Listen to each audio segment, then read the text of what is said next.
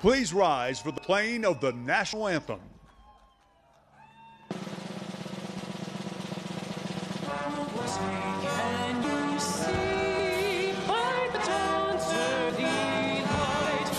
What a proudly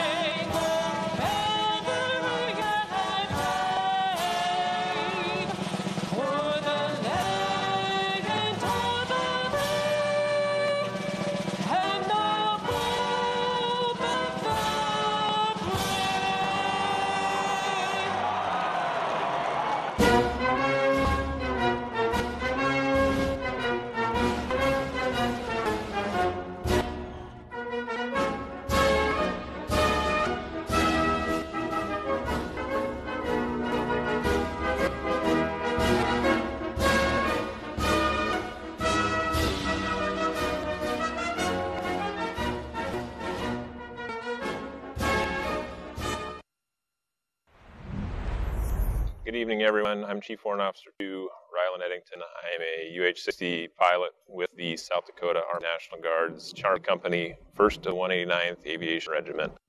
My wife Kayla and I would like to welcome you to the great state of South Dakota. South Dakota National Guard, along with our nation's military, proudly serves our state and the nation. Whether at home or overseas, we stand ready to support and defend the citizens of South Dakota and the United States. Thank you for your continued support of our armed forces. We hope you enjoy the festivities tonight.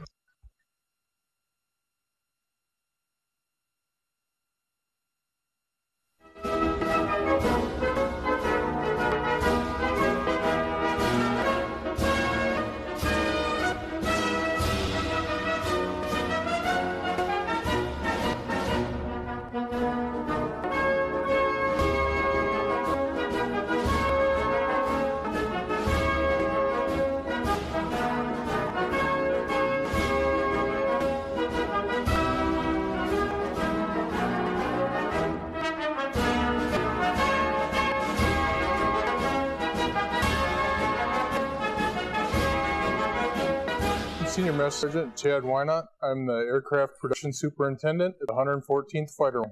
I grew up in Colton, South Dakota. I joined the South Dakota Air National Guard in 1992.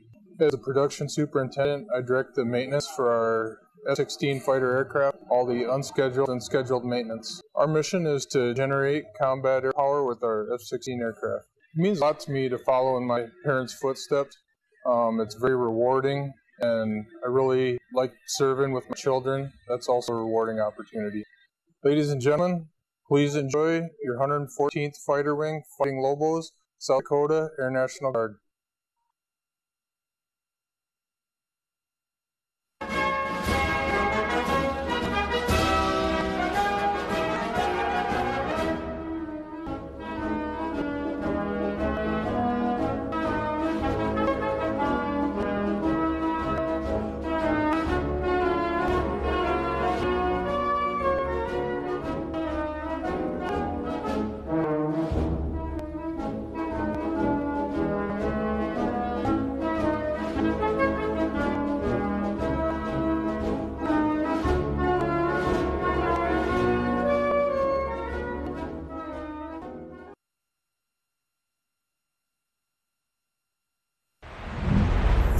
Good evening, everyone.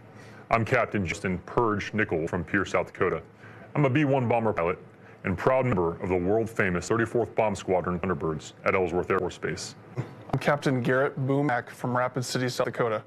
I'm a B-1 Weapons Systems Officer and proud member of 37th Bomb Squad Tigers at Ellsworth. Coming up, you will witness the awesome power of the B-1B Lancer, strategic bomber capable of long-range, long-duration missions with a top speed of 900 miles per hour, carrying the largest payload of both guided and unguided weapons in the Air Force inventory. We hope you enjoy the show. Happy birthday, America.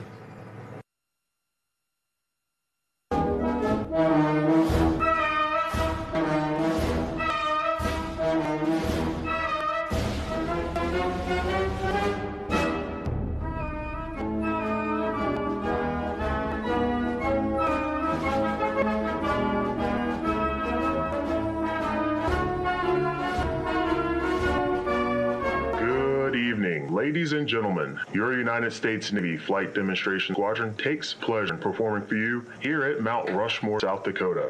Since 1946, the Blue Angels have had the unique privilege of demonstrating to the American public the precision techniques of naval aviation, hoping to inspire a culture of excellence and service country.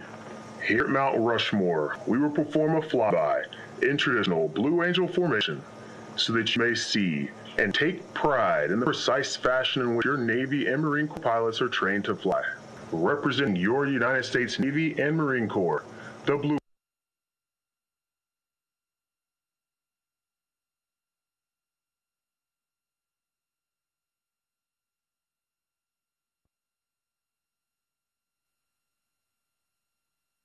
Ladies and gentlemen, please welcome former host of Entertainment Tonight and your Master of Ceremonies, Mary Hart.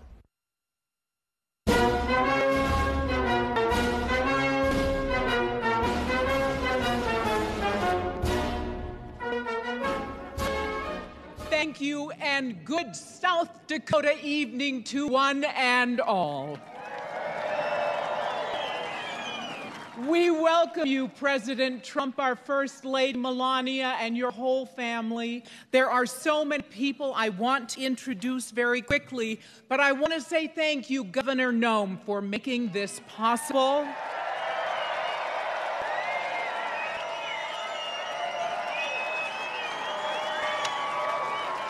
And thank you to you, incredible audience. You have been here for hours today, and it was only 125 degrees out here in the sun. And you're not only seated here, you are up there and you are beyond. So you are just spectacular for being here to celebrate an early 4th of July, the birthday of our great nation. I also want to briefly introduce you know these gentlemen well former governor and current Senator Mike Rounds, and John Thune, longtime friend. Wonderful to have you here. I see our NSC advisor, Robert O'Brien. Welcome to South Dakota. And Senator Paul, Rand Paul, I believe. Am I seeing you? Okay. And then we have Congressman Dusty Johnson seated over here. Congressman Jason Smith. Congressman Markwayne Mullin. As well as Congressman Adrian Smith. Welcome to you all. It is so incredibly great to be back in my home state of South Dakota. And it started this simply a few weeks ago. It was a text. Isn't that the way all of our important events occur in our lives these days? Did you get my voicemail, Mary? Kristi. I texted back. No, when did you leave it? Next second, the phone rings. It's Governor Noem saying, Hey, Mary, I have a favor to ask of you. Would you consider? And when she explained this glorious night and the plans, I said, Are you kidding? I would be so honored, so happy. And let me just tell you that I am incredibly proud to have all of you who are first timers here. And I know there are people from all over the country visiting because I've talked to a few of you today. And we're so happy, whether it's New Hampshire or Delaware or wherever you came from, you had a trek. But I know you're happy to be in this great state. I have long association with Mount Rushmore, and it's making me mad. Those guys up there in Granite aren't aging because, yeah, as a young kid, I was here with my family. And then as Miss South Dakota, and I, I thank you. You know what? I woke up at 3 a.m. about a week and a half ago and I went, Do I dare mention that? But yes, because it's important to me, I am so proud of this state and the values that I was raised with here in South Dakota. But I was here as Miss South Dakota in 1970, and the heart attack started when I went, that is 50 years ago. Holy cow. So I am proud of that. In 1991, I had the great joy of co hosting with fellow South Dakotan Tom Brokaw, the rededication and 50th, the golden anniversary of Mount Rushmore. And we, uh, we were honored by the presence of our 41st president, George Herbert Walker Bush, and our first lady, Barbara Bush.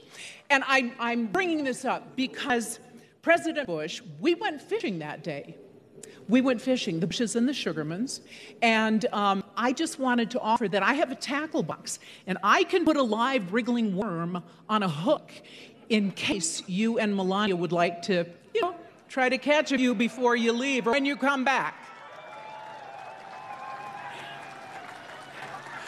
I am so honored to be Master of Ceremonies tonight, and I know we are all so proud of our men and women in uniform wonderful to have you here. We support you, we love you, and we thank you.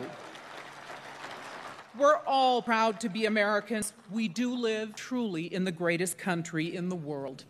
And since I brought up, yes, we do, I remember well the tumultuousness, the tumult, the tragedy, but ultimately the triumph of the 60s. I was growing up then, and those were not easy times for those of you who happen to be old enough, like I am, to remember. But you know what? That was a terrible decade.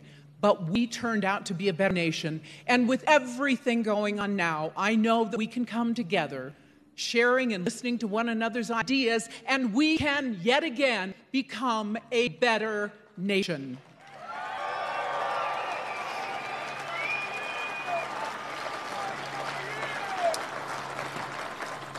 It has been 11 years since fireworks were last seen here on Mount Rushmore, and we are so excited to bring them back. And I would like to thank Secretary Bernhardt, our Interior Secretary, for helping Governor Noem, and thank you, President Trump, for making this beautiful evening happen.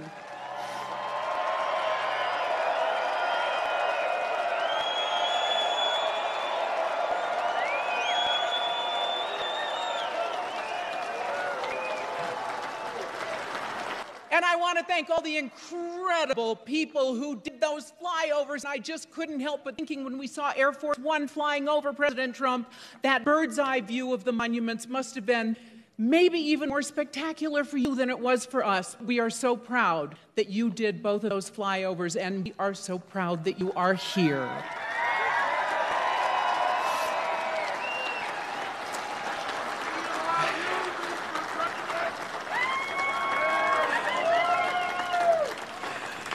And now I'd like to introduce our first speaker, a very special woman, someone who I have gotten to know through the years. You have gotten to know her, you fellow South Dakotans. She is a leader consistently challenging the status quo and working to make her state stronger for the next generation. She's a lifelong South Dakotan, and from the time she could walk, she worked beside her dad on the ranch. I love her too. In college, she married Brian, another South Dakota farm kid. She first got involved in politics after her father's tragic death, serving as a citizen legislator in the South Dakota State Legislature from 2007 to 2010, before serving South Dakota in the U.S. House of Representatives from 2011 to 2018. She recently gained national attention for her response to national events, including COVID 19, protests, and efforts to rewrite American history.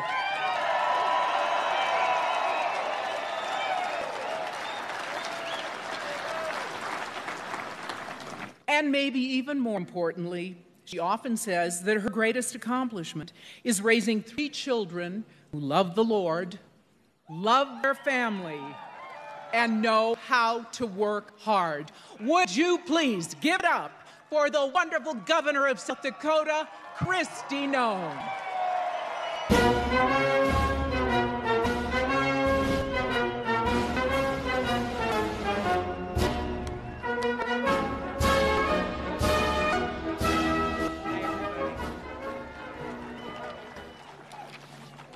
Good evening. You all look so good. Wow, thank you for coming. Mary, you are just absolutely wonderful. Aren't we proud of Mary Hart?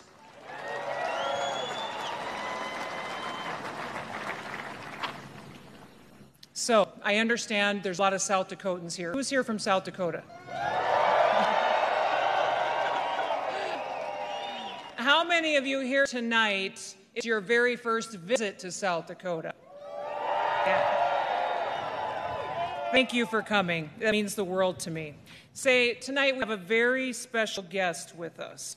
Um, we have um, the 174th Cyber Protection Unit is with us here tonight. Could they please stand?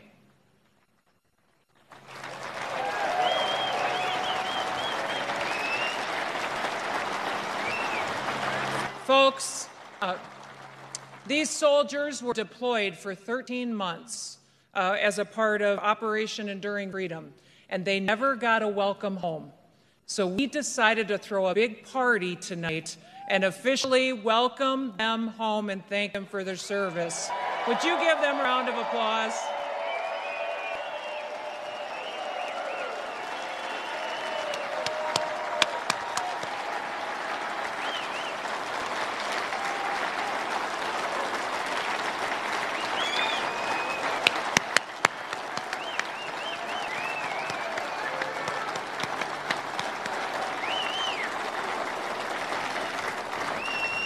Thank you for your service. Ladies and gentlemen, we have a fantastic evening planned for you, and let me start by introducing someone that has been absolutely instrumental to making tonight happen. It is my honor to introduce David Bernhardt, who is a United States Secretary of the Interior. He was raised in a rural town of Rifle, Colorado, which I've actually elk hunted there, so fantastic elk in Rifle. Secretary Bernhardt grew up hunting and fishing on public lands. He also has legal, policy, and administrative experience. He served nearly a decade in senior level positions at the department, including as solicitor and deputy secretary. Under his leadership, the Interior Department has expanded access to public lands. They've advanced American energy independence, strengthened the departmental ethics program, and also delivered billions of dollars in regulatory relief to beginning since the very beginning of the Trump administration. We are also honored to have his wife, Jenna, here this evening with us, as well as his daughter, Katie. So, ladies and gentlemen, would you please join me in welcoming the United States Secretary of the Interior, David Bernhardt.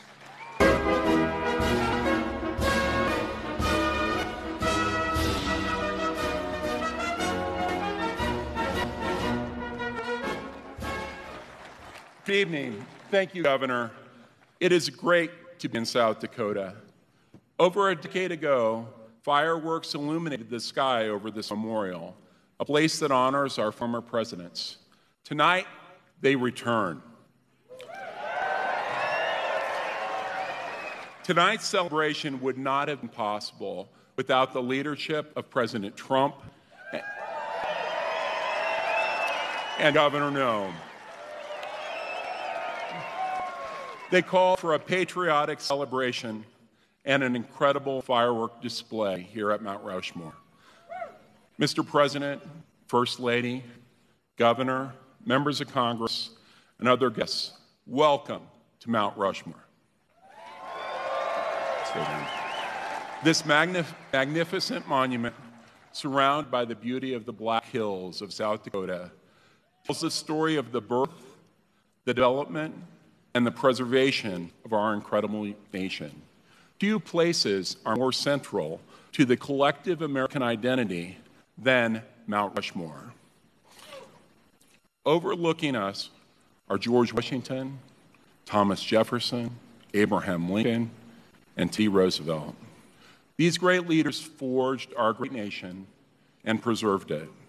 The Department of the Interior's National Park Service entrusted as a steward and the guardian of our national parks, monuments, and battlefields, all of which tell American story.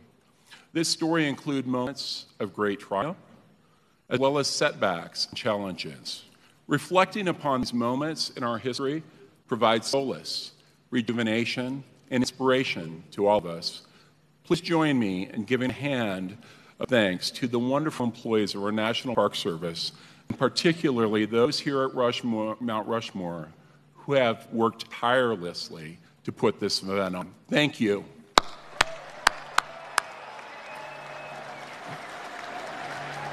Now, they're awesome.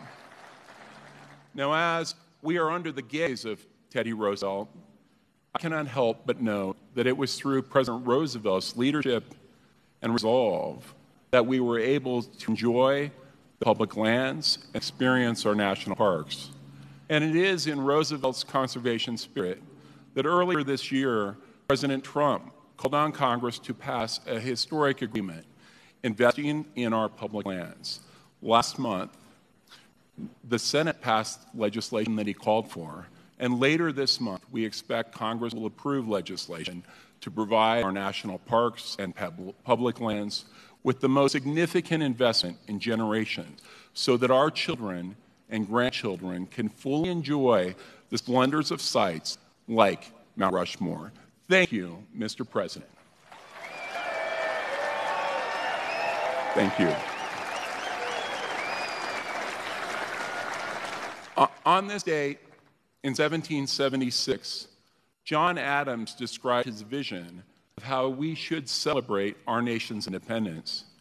He said it should be marked with pomp and parade, with show, shows, games, sports, guns, bells, bonfires, and illuminations from one end of the continent to the other. 244 years later, President Trump fosters Adams' vision, even in times of challenge. Adams recognized, pretty awesome, Adams recognized that our Independence Day bring American people together. By doing so, we can each reflect on and appreciate the principles and freedoms that bind us together to make America the greatest nation on the planet. Thank you, and God bless America.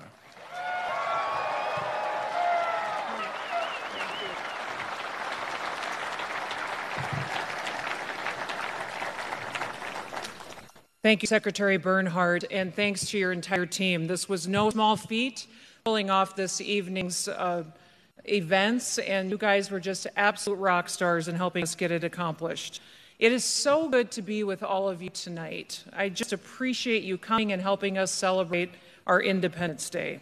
We have been working since before I was even sworn in as governor to get to this night tonight.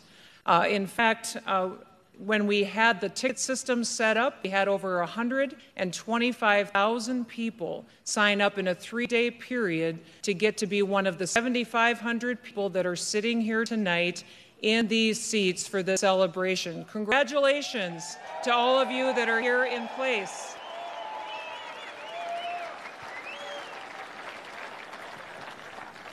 You know, whether you're visiting one of our largest cities or our smaller towns, South Dakota is a state that prides itself on the close knit nature of our communities.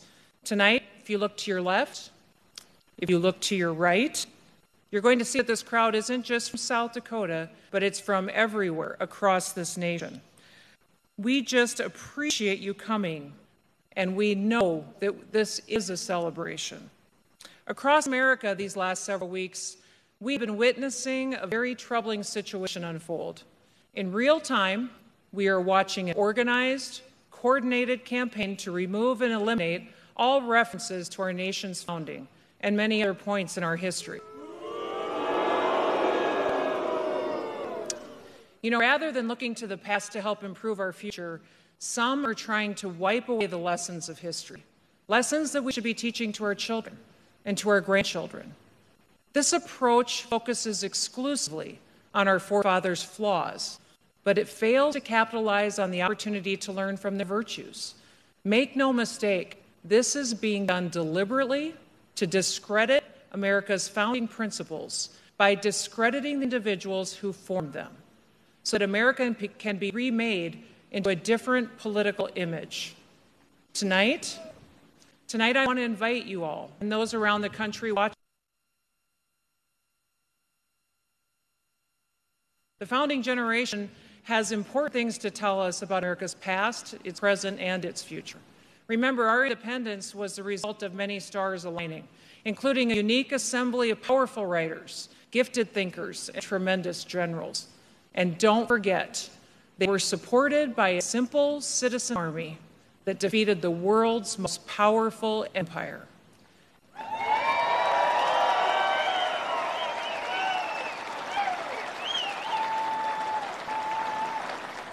Against all odds and incredible struggle, we can find examples of perseverance, dedication, and commitment to certain fundamental truths. These men did not stage a revolt against the Kingdom of Great Britain for personal gain or for personal power. They did it because they knew they had to in order to defend their rights to live, work, and worship as they saw fit. You know, following the British defeat, we could have had a king, but instead, we had a man who walked away from his position as commander in chief, and then he also walked away from the presidency. These examples, like so many others, rarely make the cut when looking back on their lives, but they undoubtedly serve as an illustration of all that Americans should emulate. Now, towards this effort, the signers of the Declaration of Independence pledged their lives and their sacred honor. The Declaration is arguably one of the most important statements of purpose ever written not just because it serves as a justification for our independence of the entire world, but also because it has led to a prosperity and inspired many other nations and peoples to seek freedom.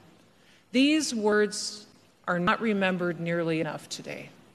We hold these truths to be self evident that all men are created equal, that they're endowed by their Creator with certain unalienable rights, and among those are life, liberty, and the pursuit of happiness that to secure these rights, governments are instituted among men, deriving their just powers from the consent of the governed. Let us never forget, especially today, that our government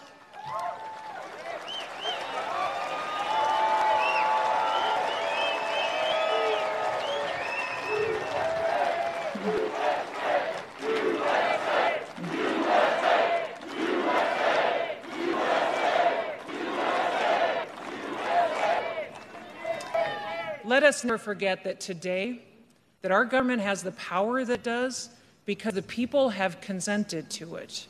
We have consented specifically to a government that will serve all of us equally and that it will protect and uphold the fundamental rights enumerated by our Constitution.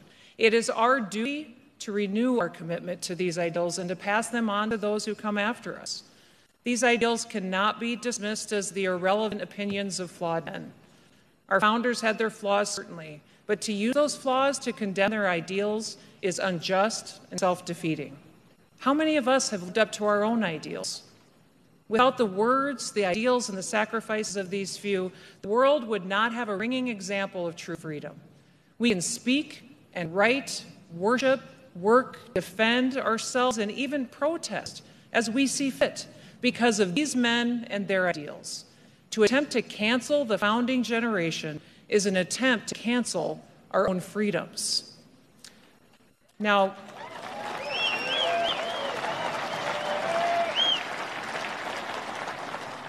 The rich and beautiful lands on which many of us live and in which we're now standing today are the result of men and women searching for more. At times, especially today, it seems like we're often paralyzed by the present and we're defeatist about the future. Our country was founded by dissonance and people seeking to make a better life for themselves and for their children. People all over the world continue to flock to America today. The simple reason is that it is our commitment to the ideals that were laid out by our forefathers. The struggle to maintain the Union was about the proposition that America must live up to the principles articulated in the Declaration. And America's rebirth allowed a fuller realization of the fundamental purposes of government articulated in the Declaration. In 1862, a simple question was put before Congress Can we do better? Our choice was clear. We could either nobly save or meanly lose the last best hope on earth. The way is plain, peaceful, generous, just, a way which, if followed, the world will forever applaud. The men and women who built this country envisioned an America that would project a positive influence throughout the world, to spread the values of the rule of law, optimism, and liberty to places that had not known them. They also took on the mission of protecting the natural wonders of the West, something all of us sitting here tonight can be thankful for. In particular, I think many of us, especially those of us that are on the political front lines, would be wise to remember. It is not the critic who counts, not the man who points out how the strong man stumbles or where the doer of deeds could have done them better. The credit belongs to the man who is actually in the arena, whose face is marred by dust and sweat and blood, who strives valiantly, who errs, who comes up short again and again, because there is no effort without error and shortcoming, but who does actually strive to do the deeds, who knows great enthusiasms, great devotions, who spends himself in a worthy cause, who at the best knows in the end the triumph of high achievement, and who at the worst, if he fails, at least fails while daring greatly. So that his place shall never be with the cold and timid souls who neither knew victory or defeat. Boy, you'd be hard pressed to find a more appropriate quote to guide leaders today. Leadership requires wisdom, a will to act, and the confidence to stand up for what's right. Our love for America and our commitment to stand for the principles that make America unique deserves to be applauded. We honor these men and women for their contributions, their leadership, all the positive things that they represent, the things that make America unique, and call us to live up to our promises. This Independence Day, let us be grateful that we have such words and such example to follow, and that others were willing to sacrifice so much to create a land in which liberty and law can be protected. Let us not destroy history. Let us learn from it by preserving and imitating what is good about it. We are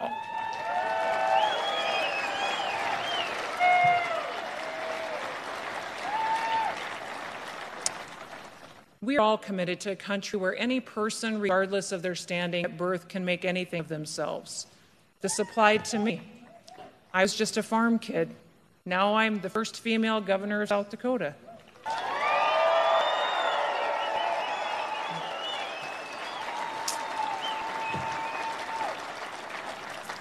But it applies to everyone else too.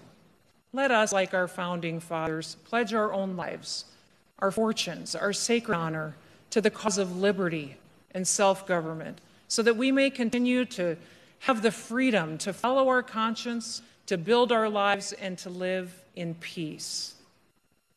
Now, I want to introduce someone who understands precisely what it means to brave the dangers of the arena. Someone who strives valiantly, who knows great enthusiasms, who spends himself in a worthy cause, and who has firmly and repeatedly stated his commitment to place Americans, American liberty, American safety, and the American Constitution before anything else. I am talking, I am talking, of course, about President Donald Trump.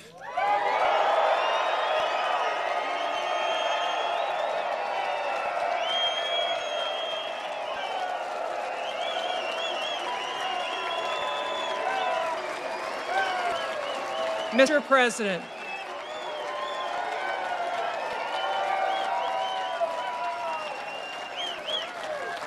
Mr. President, welcome to South Dakota, and thank you. Thank you for your effort to bring this beautiful celebration of American independence, history, and liberty to fruition. Thank you for your efforts to remind the American people that they provide the consent of the governed on which the legitimate government depends. Ladies and gentlemen, President Donald Trump. And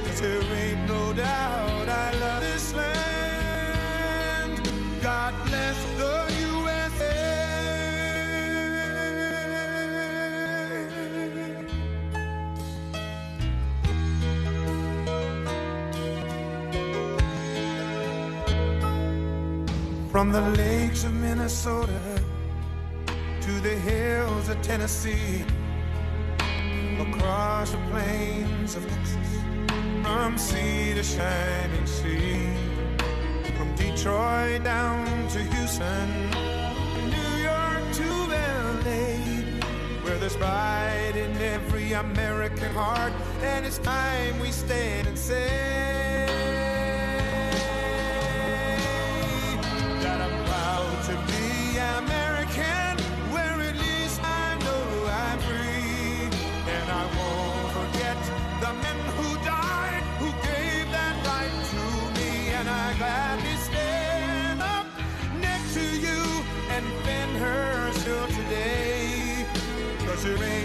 I love this land.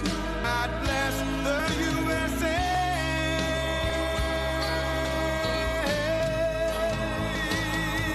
And I'm proud to be an American, I.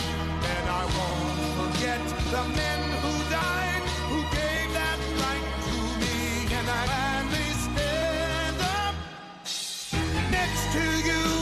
defend her still today. Cause there ain't no doubt I love this land. God bless the USA.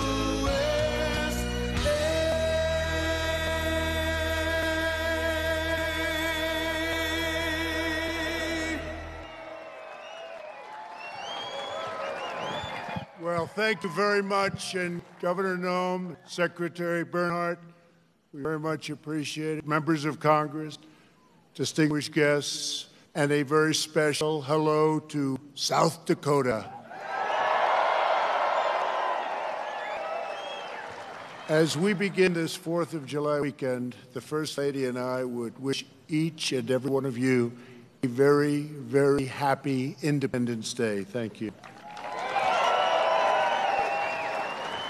Let us show our appreciation to the South Dakota Army and Air National Guard and the U.S. Air Force for inspiring us with that magnificent display of American air power.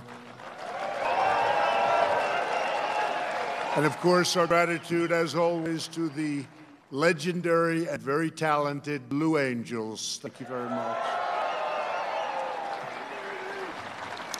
Let us also send our deepest thanks to our wonderful veterans, law enforcement, first responders, and the doctors, nurses, and scientists working tirelessly to kill the virus. They are working hard. I want to thank them very, very much. We're grateful as well to your state's congressional delegation, Senator John Thune. John, thank you very much. Senator Mike Rounds. Thank you, Mike. And Dusty Johnson, Congressman. Hi, Dusty. Thank you. And all others with us tonight from Congress, thank you very much for coming. We appreciate it. There could be no better place to celebrate America's independence than beneath this magnificent, incredible, majestic mountain monument to the greatest Americans who have ever lived. Today, we pay tribute to the exceptional lives and extraordinary legacies of George Washington, Thomas Jefferson, Abraham Lincoln, and Teddy Roosevelt.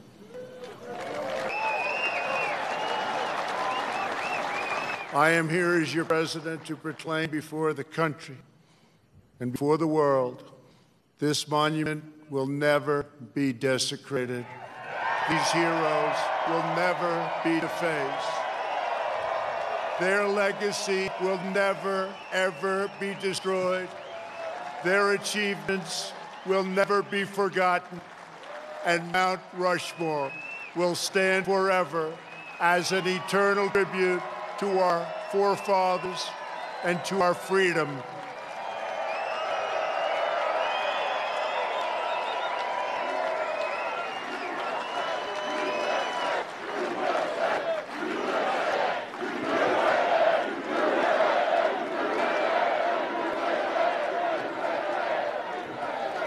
We gather tonight to herald the most important day in the history of nations.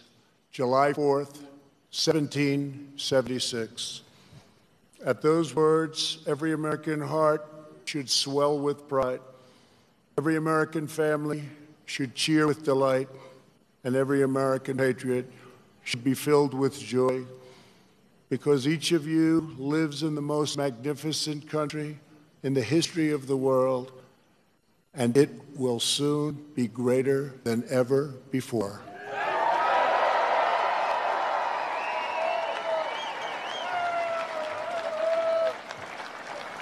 Our founders launched not only a revolution in government, but a revolution in the pursuit of justice, equality, liberty, and prosperity. No nation has done more to advance the human condition than the United States of America.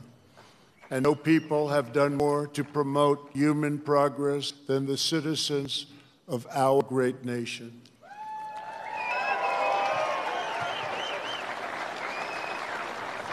It was all made possible by the courage of 56 patriots who gathered in Philadelphia 244 years ago and signed the Declaration of Independence.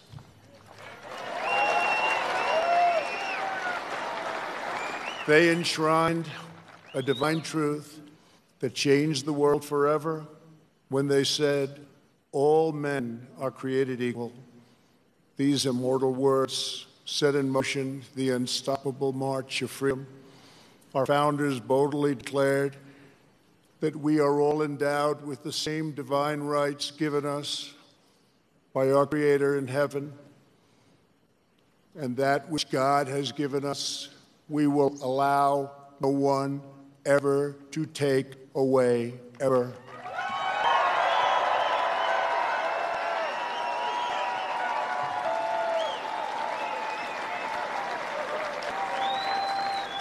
Seventeen seventy six represented the culmination of thousands of years of Western civilization and the triumph of not only spirit, but of wisdom, philosophy, and reason. And yet, as we meet here tonight, there is a growing danger that threatens every blessing our ancestors fought so hard for, struggled, they bled to secure. Our nation is witnessing a merciless campaign to wipe out our history, defame our heroes, erase our values, and indoctrinate our children.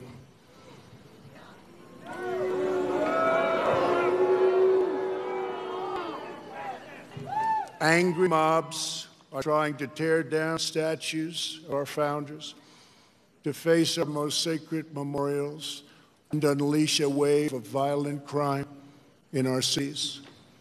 Many of these people have no idea why they're doing this, but some know exactly what they are doing. They think the American people are weak and soft and submissive. But no, the American people are strong, proud, and they will not allow our country and all of its values, history, and culture to be taken from them.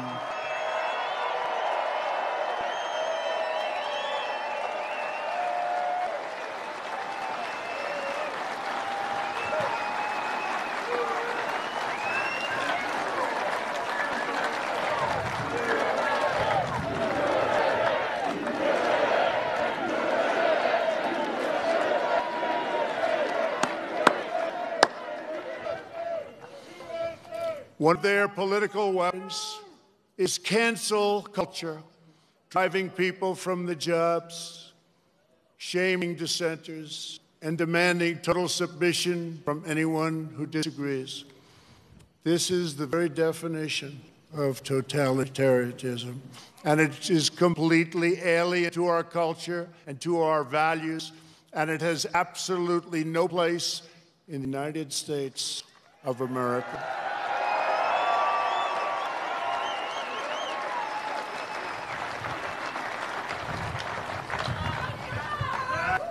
This attack on our liberty, our magnificent liberty, must be stopped, and it will be stopped very quickly. We will expose this dangerous movement, protect our nation's children, end this radical assault, and preserve our beloved American way of life. In our schools, our newsrooms, even our corporate boardrooms, there is a new far left fascism that demands absolute allegiance. If you do not speak its language, perform its rituals, recite its mantras, and follow its commandments, then you will be censored, banished, blacklisted, persecuted, and punished. Not going to happen to us. Make no mistake, this left wing cultural revolution is designed to overthrow the American Revolution. In so doing, they would destroy the very civilization that rescued billions from poverty, disease, violence, and hunger, and that lifted humanity to new heights of achievement, discovery, and progress. To make this possible, they are determined to tear down every statue, symbol, and memory of our national heritage.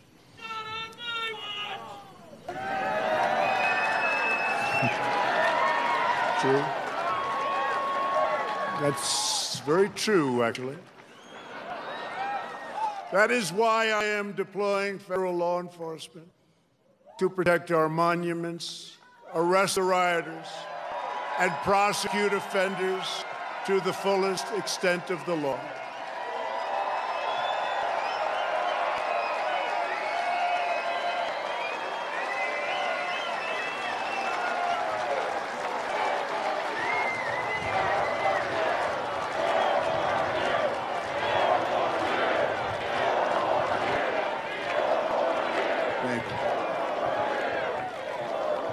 Am pleased to report that yesterday, federal agents arrested the suspected ringleader of the attack on the statue of the great Andrew Jackson in Washington, D.C. And in addition, hundreds more have been arrested. Under the executive order I signed last week pertaining to the Veterans Memorial Preservation and Recognition Act and other laws, people who damage or deface federal statues or monuments will get a minimum of 10 years in prison.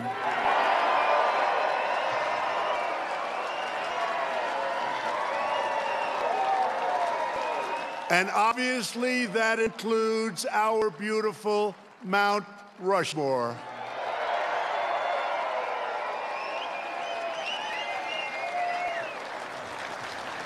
Our people have a great memory.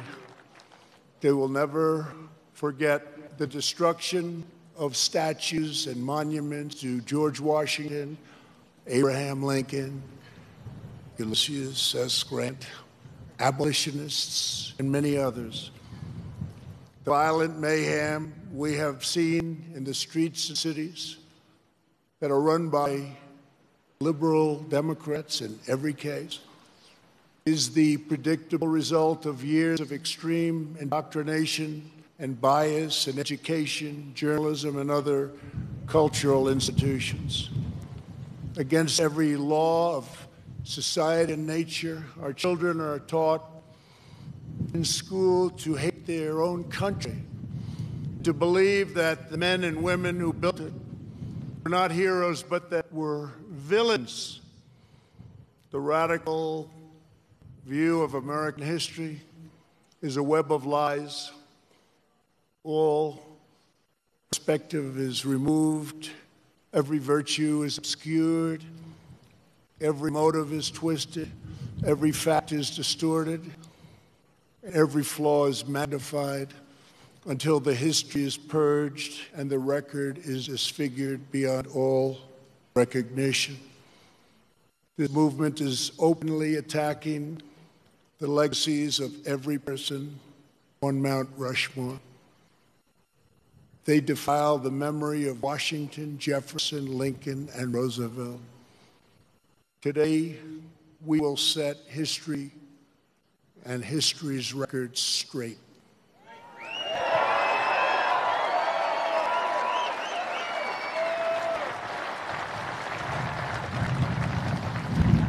Before these figures were immortalized in stone, they were American giants in full flesh and blood, gallant men whose intrepid deeds unleashed the greatest leap of human advancement the world has ever known.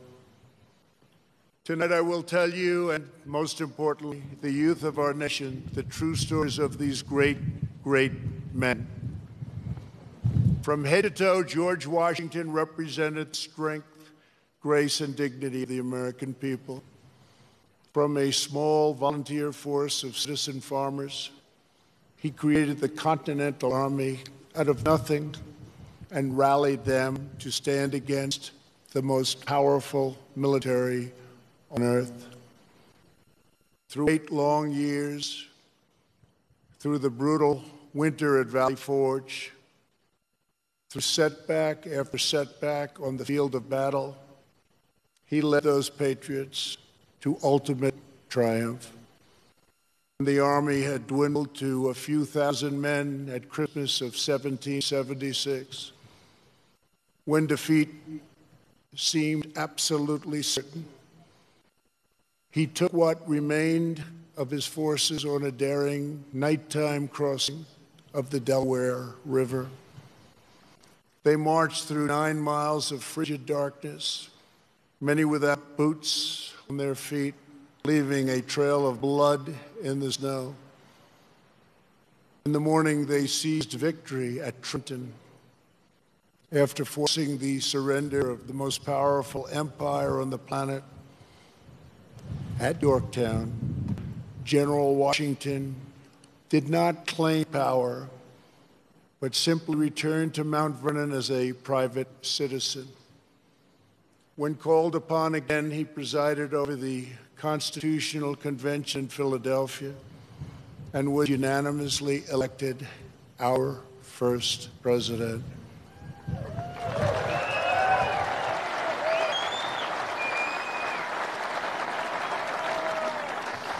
When he stepped down after two terms, his former adversary, King George called him the greatest man of the age. He remains first in our hearts to this day.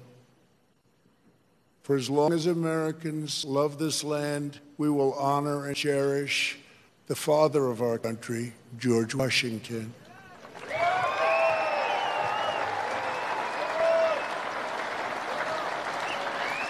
He will never be removed, abolished, and most of all, he will never be forgotten.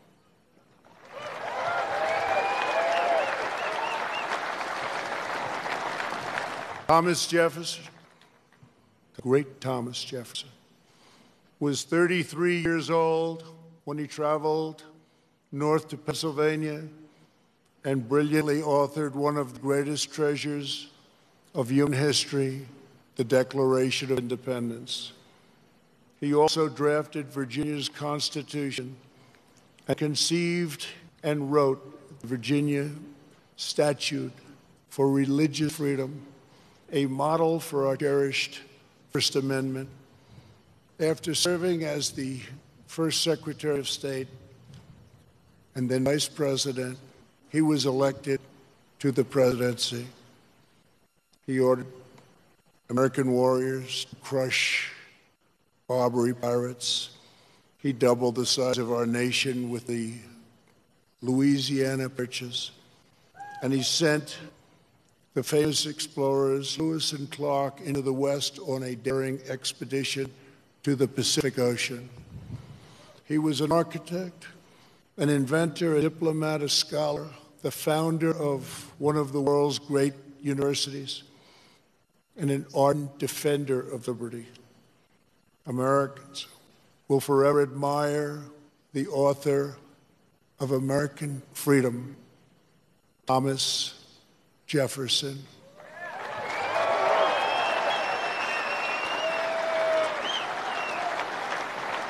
And he too will never, ever be abandoned by us.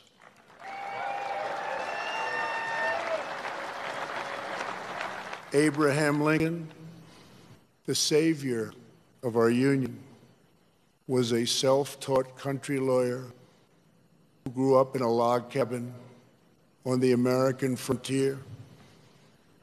The first Republican president who rose to high office from obscurity based on a force and clarity of his anti slavery convictions, very, very strong convictions. He signed law that built the Transcontinental Railroad.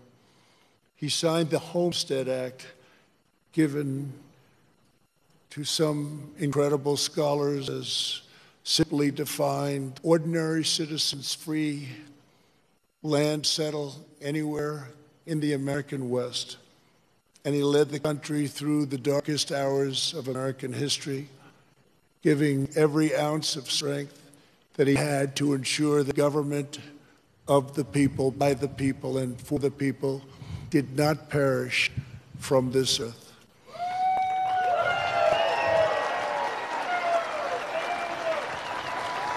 He served as Commander in Chief of the U.S. Armed Forces during our bloodiest war, the struggle that saved our Union and extinguished the evil of slavery. Over 600,000 died in that war. More than 20,000 were killed or wounded in a single day in Antietam.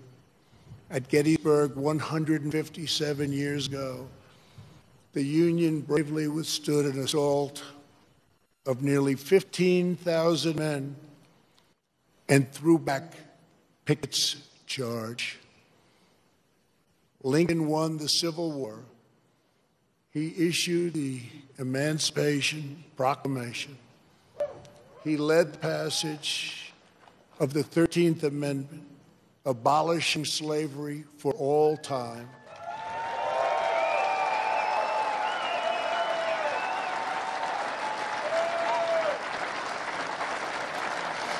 And ultimately, his determination to preserve our nation and our union cost him his life. For as long as we live, Americans will uphold and revere the immortal memory of President Abraham Lincoln.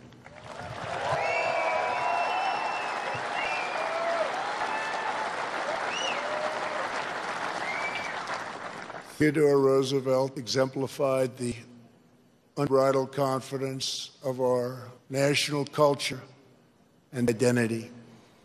He saw the power and grandeur of America's mission in the world, and he pursued it with overwhelming energy and zeal. As a lieutenant colonel during the Spanish American War, he led the famous Rough Riders to defeat the enemy at San Juan Hill. He cleaned up corruption as police commissioner of New York City, then served as the governor of New York, vice president, and at 42 years old, became the youngest ever president of the United States.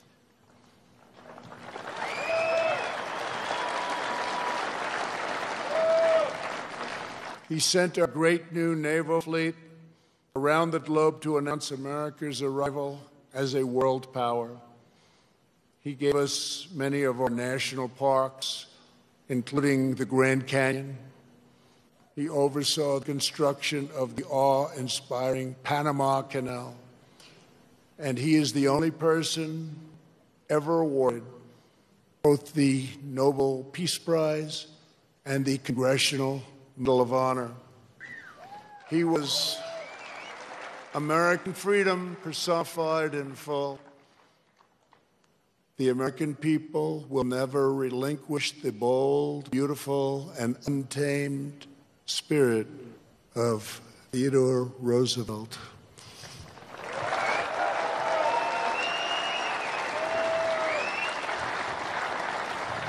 No movement that seeks to dismantle these treasured American legacies can possibly have a love of America at its heart. Can't happen. No person who remains quiet at the destruction of this resplendent heritage can possibly lead us to a better future. The radical ideology attacking our country advances under the banner of social justice. But in truth, it would demolish both justice and society. It would transform justice into an instrument of division and vengeance, and it would turn our free and inclusive society into a place of repression, domination, and exclusion. They want to silence us, but we will not be silenced.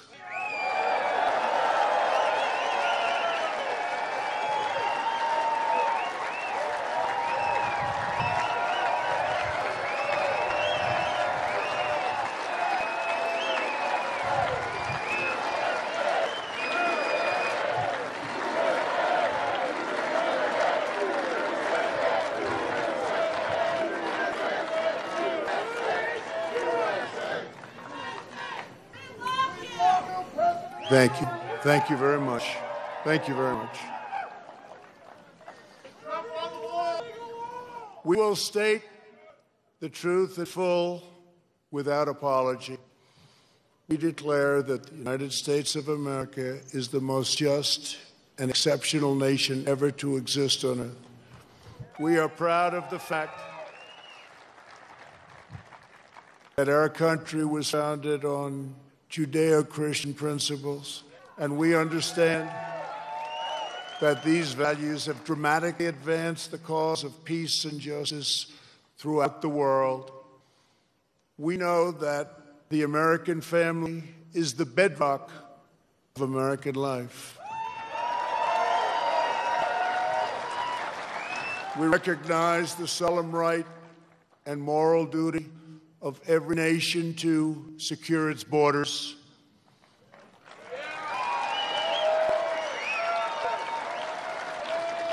And we are building the wall.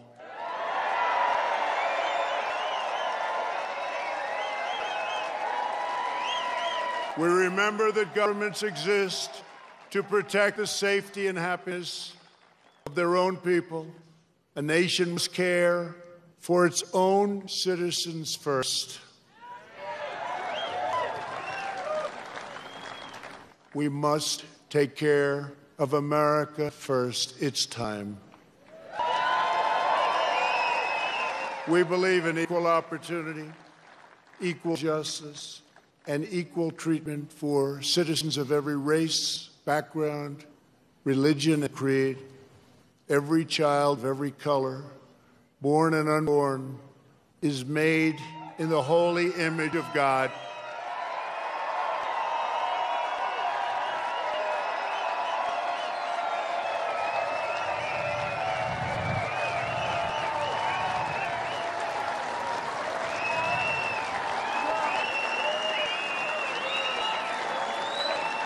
We want free and open debate, not speech codes and cancel culture. We embrace tolerance, not prejudice.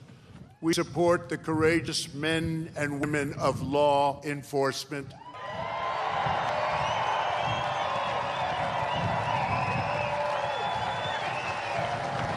We will never abolish our police or our great Second Amendment, which gives us the right to keep and bear arms.